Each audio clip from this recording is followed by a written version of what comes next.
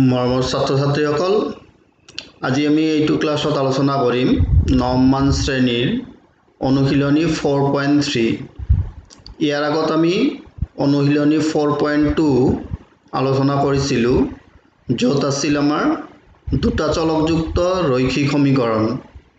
আজিও আমি দুটা চলকযুক্ত ৰৈখিক সমীকৰণৰ বিষয়ে আলোচনা কৰিম কিন্তু ৰৈখিক সমীকৰণৰ লেখ সম্পৰ্কেহে আজি আমি আলোচনা কৰিম। অৰ্থাৎ দুটা চলকযুক্ত ৰৈখিক সমীকৰণ এটাৰ লেখৰ প্ৰকৃতি কেনেকুৱা আৰু এই লেখটো আমি কিদৰে অংকন কৰিব পাৰি সেই বিষয়ে আমি আজিৰ এইটো ক্লাছত আলোচনা কৰিম। আহা চাওঁ আমি কিদৰে দুটা চলকযুক্ত ৰৈখিক সমীকৰণৰ লেখ এটা অংকন কৰিব পাৰোঁ আৰু ই দেখাত কেনেকুৱা হ'ব।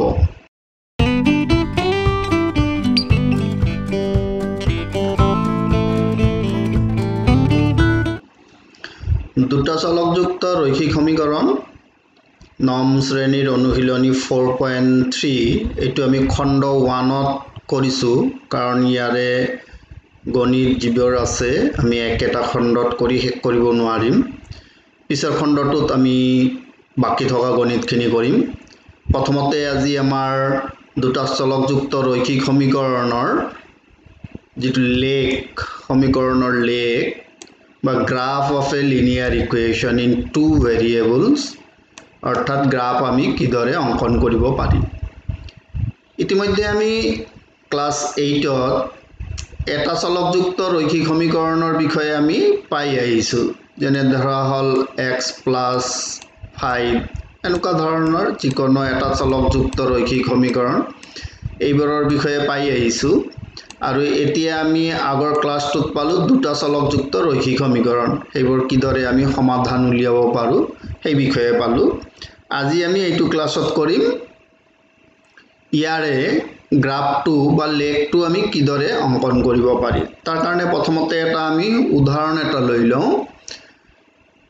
দুটা চলকযুক্ত ৰৈখিক সমীকৰণৰ জ্যামিতিক প্ৰদৰ্শন মানে জ্যামিতিক প্ৰদৰ্শন বা জ্যামিতিকভাৱে যদি আমি দুটা চলকযুক্ত সমীকৰণক আমি প্ৰদৰ্শন কৰোঁ কেনেকুৱা হ'ব? এটা উদাহৰণ আমি লৈছোঁ। এইটো আমাৰ এটা দুটা চলকযুক্ত ৰৈখিক সমীকৰণ। ইয়াতে আমাৰ এটা চলক আছে এক্স আৰু এটা চলক আছে ৱাই গতিকে দুটা চলকযুক্ত আৰু যিহেতু আমাৰ ইয়াতে চলকৰ ঘাটবিলাক ওৱান ওৱান আছে ৰৈখিক সমীকৰণ। ইয়াৰ জ্যামিতিক ৰূপটো উলিয়াম আমি।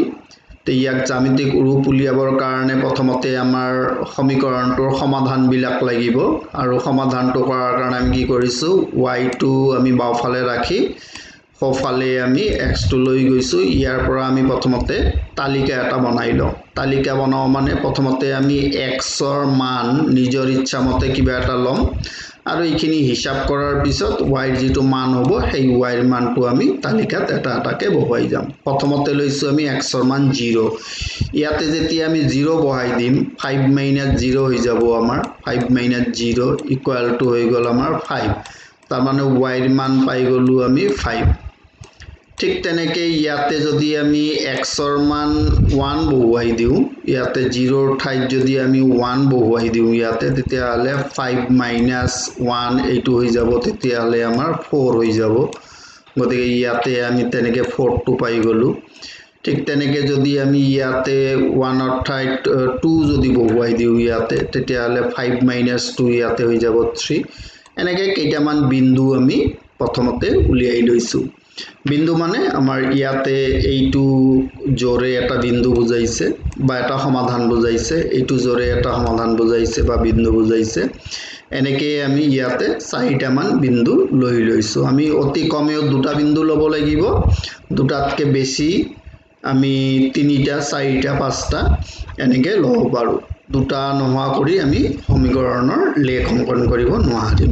গতিকে এই বিন্দুকেইটা কি কি পালোঁ তেতিয়াহ'লে আমি প্ৰথম বিন্দুটো পালোঁ আমাৰ জিৰ' ফাইভ এইটো আমাৰ জিৰ' ফাইভ তাৰপিছৰ বিন্দুটো হৈ গ'ল আমাৰ ওৱান ফ'ৰ এইটো আমাৰ ওৱান ফ'ৰ তাৰপিছতটো টু থ্ৰী তাৰপিছতটো হৈ গ'ল আমাৰ থ্ৰী টু। বিন্দুবোৰ বিন্দুবোৰ প্ৰথমতে আমি লেখ কাগজত বহুৱাম তাৰপিছত এই বিন্দুবোৰ এটা এটাকৈ আমি সংযোগ কৰিম। তেতিয়াহ'লে সংযোগ কৰাৰ পিছত কেনেকুৱা ধৰণৰ লেখ পোৱা যাব সেইটো আমি দেখিবলৈ পাম। তে বিন্দুকেইটা আছিল আমাৰ? এইকেইটা zero' five one four two three আৰু থ্ৰী টু।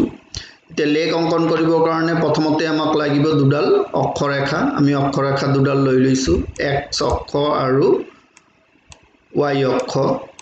এক্স অক্ষ আৰু ৱাই অক্ষই আমাৰ মূল বিন্দু অ'ত কটাকটি কৰিছে পৰস্পৰ লম্বভাৱে আমি নিৰ্দিষ্ট দূৰত্বত এককবোৰ আমি ইয়াতে লিখি লৈছোঁ। গ্ৰাফ পেপাৰ হ'লে নিৰ্দিষ্ট দূৰত্বত এককবোৰ আমি লৈ ল'ব পাৰিম। এতিয়া আমাৰ যিটো বিন্দু প্ৰথম বিন্দুটো প্ৰথম বিন্দুটো হৈছে জিৰ' ফাইভ। জিৰ' ফাইভ মানে আমাৰ বিন্দুটো হ'ব জিৰ'ৰ পৰা গৈ ইয়াতে ফাইভ। তাৰমানে এই বিন্দুটো হৈ গ'ল আমাৰ জিৰ' ফাইভ। Zero five. তাৰ পিছৰ বিন্দুটো আছে আমাৰ ওৱান ফ'ৰ। ওৱান ফ'ৰটো ক'ত হ'ব? এইফালে গ'ল আমাৰ ওৱান আৰু এইফালে যায় ফ'ৰ। এইখিনি মানত আমাৰ এটা বিন্দু হ'ব। এই ওৱান ফ'ৰ বিন্দুটো আমি পাই গ'লোঁ। তাৰপিছতটো আছে আমাৰ টু থ্ৰী। টু থ্ৰী ইয়াতে আমাৰ প্ৰথমতে এক্সৰ পৰা এক্স অক্ষত টু তাৰপিছত এইফালে আমাৰ থ্ৰী। এনেকৈ আমি টু থ্ৰী বিন্দুটো পাই গ'লোঁ। তাৰপিছত আছে আমাৰ থ্ৰী টু। থ্ৰী টু বিন্দুটো আমাৰ এইটো বিন্দু। তো ইয়াতে আমাৰ চাৰিটা বিন্দু ইয়াৰ উপৰিও আৰু কিছু বিন্দু আমাৰ থাকিব পাৰে। যেনে এই এটা বিন্দু আমাৰ এই এটা বিন্দু এনেকুৱা বিন্দুবোৰ লৈ এই বিন্দুবোৰ সংযোগ কৰিম আমি। সংযোগ কৰাতে আমি দেখা পালোঁ যে সংযোগ কৰাৰ পিছত কি পালোঁ আমি? এ বি এডাল সৰল ৰেখা আমি পাই গ'লোঁ। অৰ্থাৎ আমি বিন্দুবোৰ সংযোগ কৰি এডাল সৰল ৰেখা পালোঁ। তেতিয়াহ'লে আমি কি গম পালোঁ যে আমাৰ যিটো দুটা চলকযুক্ত ৰৈখিক সমীকৰণ আছিল এই ৰৈখিক সমীকৰণৰ যিটো লেখ আমি পালোঁ এটা সৰল ৰেখা পালোঁ আমি। আৰু এই সৰল ৰেখাডালৰ ওপৰত যিবোৰ বিন্দু আমি ল'লোঁ বা যিবোৰ বিন্দুৰ মাজেৰে সৰল ৰেখাডাল গৈছে এই প্ৰতিটো বিন্দুৱে আমাৰ কি হ'ব সেই সমীকৰণটোৰ যিটো সমীকৰণৰ লেখ আমি অংকন কৰিলোঁ সেই সমীকৰণটোৰ একো একোটা সমাধান। কিন্তু যদি ইয়াৰ ওপৰত নথকা কোনো এটা বিন্দু ধৰি ল'লোঁ এই এটা বিন্দু যি বিন্দুটো আমাৰ যিটো বিন্দু আমাৰ লেখডালৰ ওপৰত নাই বা এই এটা বিন্দু বা এই এটা বিন্দু মানে সৰল ৰেখাডালৰ ওপৰত নথকা এনেকৈ অসংখ্য বিন্দু আছে এই বিন্দুবোৰ কিন্তু আমাৰ সমীকৰণটোৰ সমাধান নহয়। অৰ্থাৎ এই বিন্দুবোৰে আমাৰ সমীকৰণটো সিদ্ধ নকৰে। গতিকে এইখিনিৰ পৰা আমি যিখিনি কথা গম পালোঁ সেই কথাখিনি চাওঁ আমি কি কি গম পালোঁ। লেখডালৰ ওপৰত থকা প্ৰতিটো বিন্দুৱেই প্ৰদত্ত সমীকৰণটোৰ একোটা সমাধান। তাৰমানে লেখডালৰ ওপৰত যিবোৰ বিন্দু আমাৰ আছে সেইবোৰ আমাৰ সমীকৰণটোৰ সমাধান হ'ব। কিন্তু লেখডালৰ ওপৰত নথকা কোনো বিন্দুৱেই সমীকৰণটো সিদ্ধ নকৰে মানে লেখডালৰ ওপৰত নথকা বিন্দুবিলাক সমীকৰণটোৰ সমাধান নহয়। দুটা কথা মন কৰিব লাগিব। এটা হ'ল যিবোৰ বিন্দু লেখডালৰ ওপৰত আছে সেইবোৰ হৈছে সমীকৰণটোৰ সমাধান আৰু যিবোৰ লেখডালৰ ওপৰত নাই সেইবোৰ সমাধান নহয়। তাৰপিছত আমি কি পালোঁ? দুটা চলকযুক্ত ৰৈখিক সমীকৰণৰ যিটো জ্যামিতিক ৰূপ সেইটো আমাৰ এডাল সৰল ৰেখা হৈ গ'ল। তাৰমানে আমি এইটো কথা মনত ৰাখিব লাগিব যে দুটা চলকযুক্ত ৰৈখিক সমীকৰণৰ জ্যামিতিক ৰূপ বা গ্ৰাফিকেল ৰিপ্ৰেজেণ্টেশ্যন যিটো আমি পালোঁ সেইটো হৈ গ'ল এটা আমাৰ সৰল ৰেখা। যিবোৰ বিন্দুৱে সমীকৰণটো সিদ্ধ কৰে সেই বিন্দুবোৰ ৰেখাডালৰ ওপৰত থাকিব। মানে এইটো সমীকৰণটোৰ সমাধানো হ'ব ৰেখাডালৰ ওপৰত থাকিব। উল্টাকে ৰেখাডালৰ যদি সমীকৰণটোৰ যদি সমাধান হয় ৰেখাডালৰ ওপৰত থাকিব। তাৰপিছত ৰেখাডালৰ ওপৰত থকা প্ৰতিটো বিন্দু সমীকৰণটোৰ একোটা সমাধান। ক'লোৱে আমি এইটো কথা। যিবোৰ বিন্দু ৰেখাডালৰ ওপৰত নাথাকে সেই বিন্দুবোৰ সমীকৰণটোৰ সমাধান নহয়। তেতিয়াহ'লে আমি দুটা চলকযুক্ত ৰৈখিক সমীকৰণৰ বিষয়ে কিছুমান কথা গম পালোঁ যে তাৰ লেখটো হ'ব এডাল সৰল ৰেখা। সৰল ৰেখাডালৰ ওপৰত থকা বিন্দুবোৰ সমীকৰণটোৰ সমাধান। যিবোৰ বিন্দু লেখডালৰ ওপৰত নাথাকে সেইবোৰ সমাধান নহয়। এতিয়া এই আৰ্হিটো মানে দুটা চলকযুক্ত ৰৈখিক সমীকৰণৰ যিটো আমাৰ আৰ্হি প্ৰামাণিক ৰূপ যিটো সেই সমীকৰণটোক আমি ৰৈখিক বুলি কিয় কওঁ? ৰৈখিক সমীকৰণ বুলি কোৱাৰ কাৰণ যে ইয়াৰ যিটো জ্যামিতিক ৰূপ আমি এটা পালোঁ জ্যামিতিক যিটো আকাৰ পালোঁ টো সৰল ৰেখা এডাল পালোঁ। আৰু সেইকাৰণেই আমি এনেকুৱা ধৰণৰ যিবোৰ সমীকৰণ দুটা চলকযুক্ত সেই সমীকৰণবোৰক আমি কি বুলি কওঁ? ৰৈখিক সমীকৰণ বুলি কওঁ আমি। দুটা চলকযুক্ত ৰৈখিক সমীকৰণৰ লেখ এতিয়া আমি অংকন কৰিম। কেনেকৈ আমি বিন্দুবোৰ উলিয়াই লেখডাল আমি অংকন কৰিব পাৰোঁ অলপ বহলকৈ ইয়াতে আমি আলোচনা কৰিম। প্ৰথমতে এটা উদাহৰণ ল'লোঁ। X plus y equal to seven.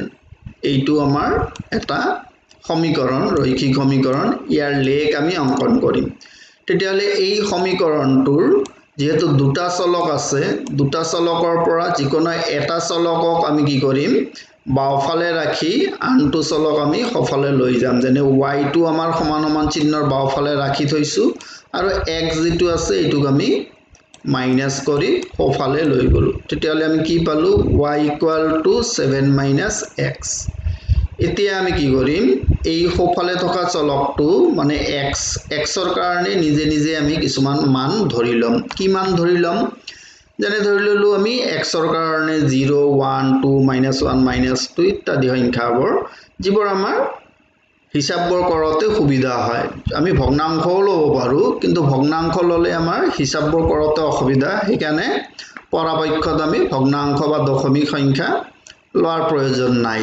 এতিয়া আমি এটা এটাকৈ সংখ্যাবিলাক লওঁ।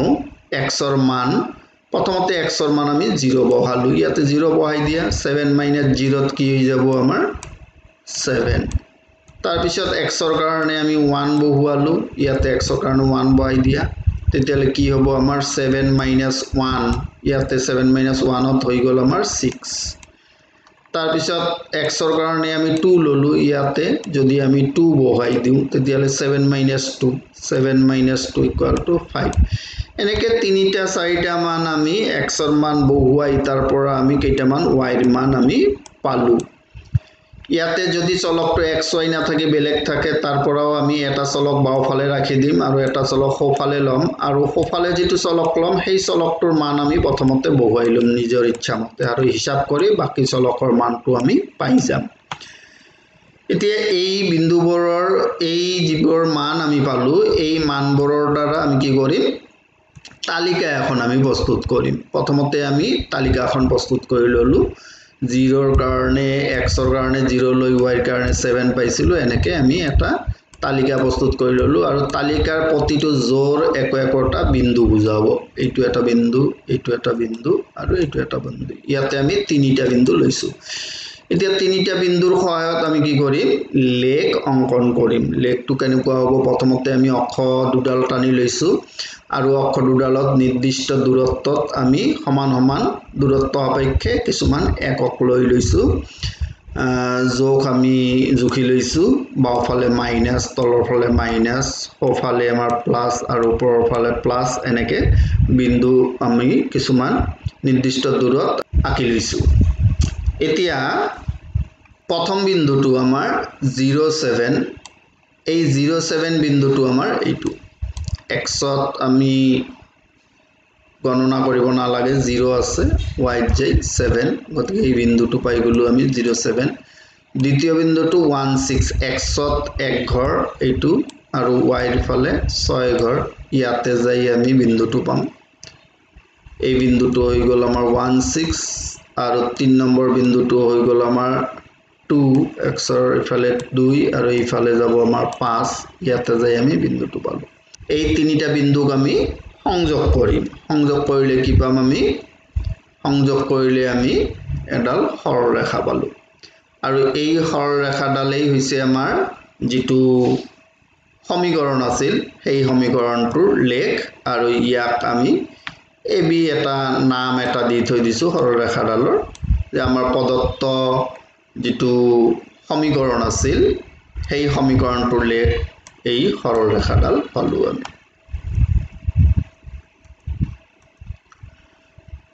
এবাৰ বেলেগ এটা উদাহৰণ চাওঁ আমি কি আছে ইয়াতে? ওৱান টু বিন্দুটো দিয়া থাকিলে এই বিন্দুটো থকা ৰেখা এডালৰ সমীকৰণ নিৰ্ণয় কৰিব লাগে।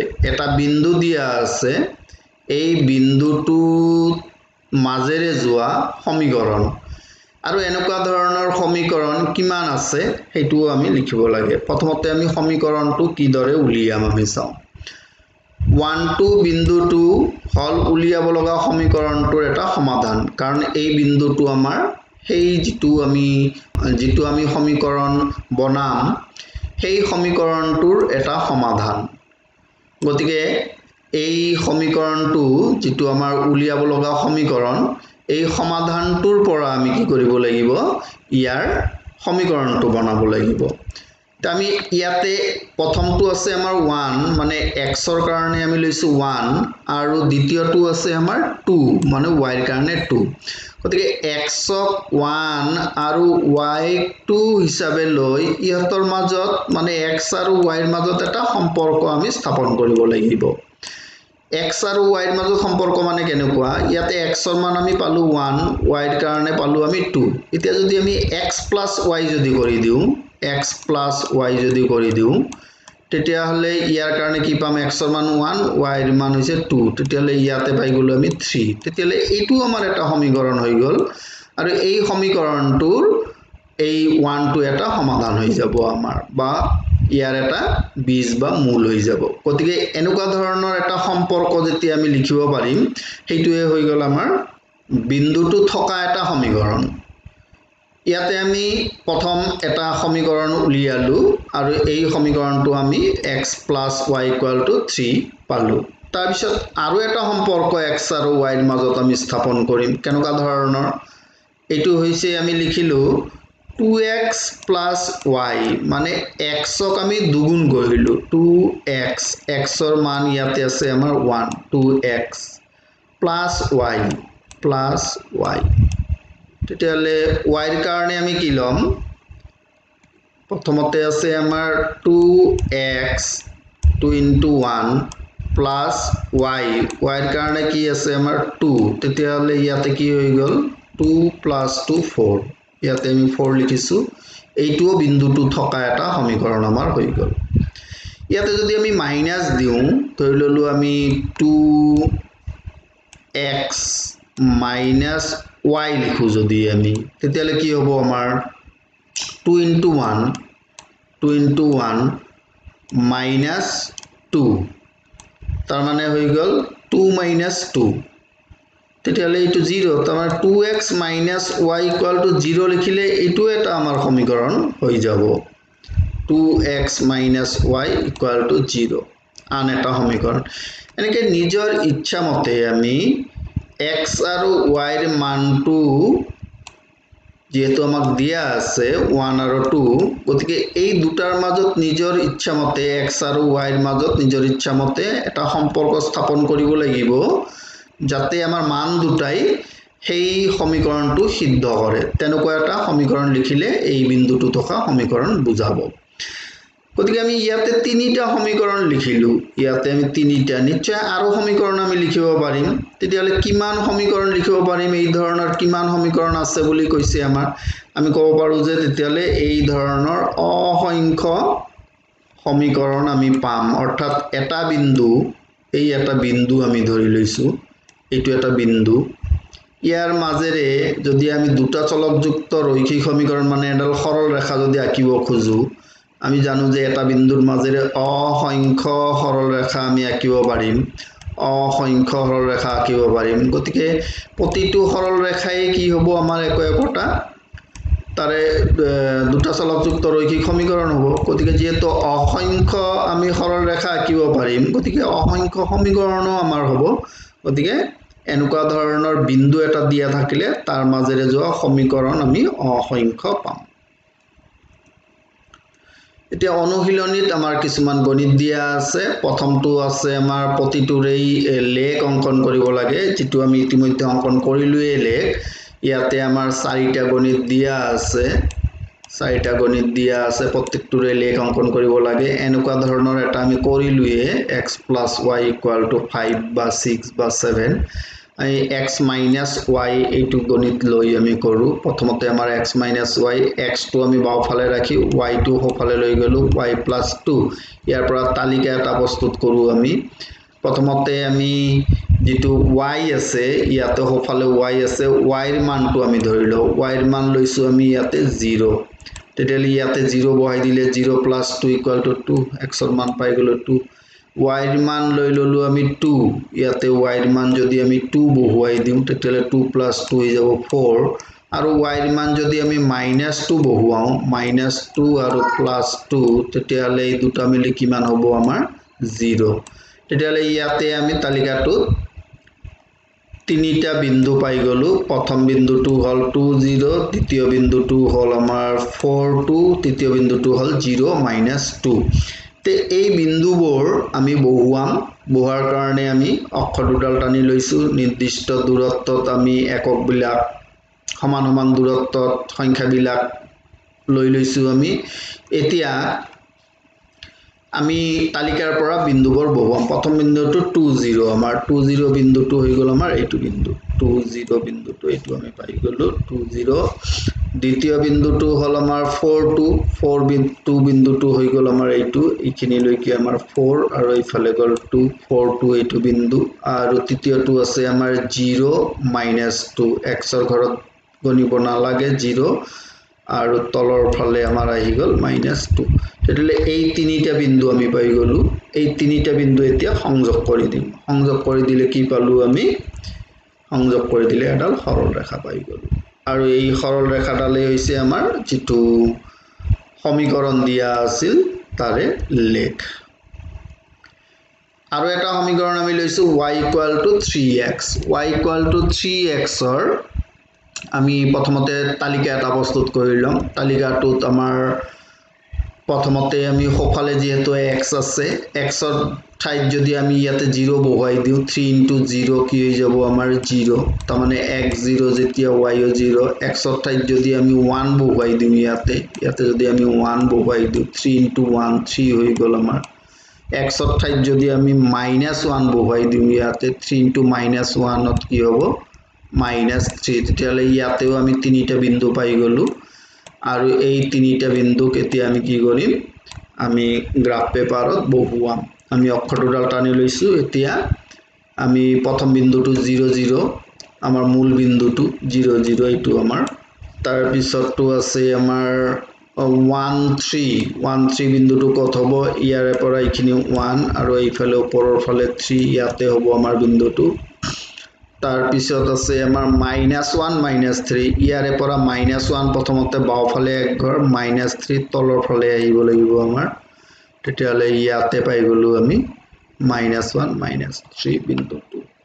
তে এই তিনিটা বিন্দু আমি পাই গ'লোঁ। এতিয়া এই তিনিটা বিন্দুক আমি সংযোগ কৰি দিম। সংযোগ কৰি দিলে ইয়াতেও আমি এডাল সৰল ৰেখা পাই গ'লোঁ। গতিকে এইটোৱে হৈছে আমাৰ y equal to three x যিটো সমীকৰণ এই সমীকৰণটোৰ লেখ y equal to three x সমীকৰণটোৰ লেখ।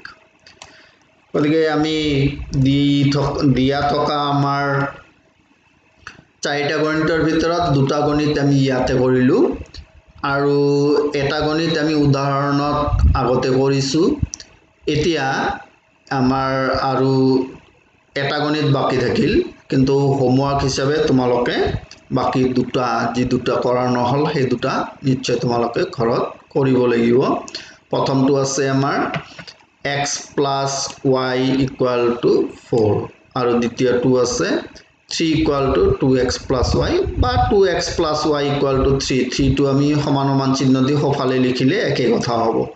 তো ইয়াৰ পৰা আমি ৱাই ইকুৱেল টু লিখিব পাৰিম।